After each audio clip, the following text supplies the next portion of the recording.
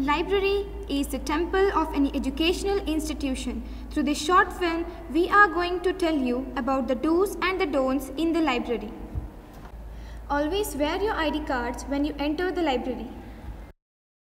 Don't shelve books. Place the books in their proper position after using them. Make sure that you return or renew the books on or before the due dates. It is strictly prohibited to use mobile phones in the library area. No music, not even by using headphones.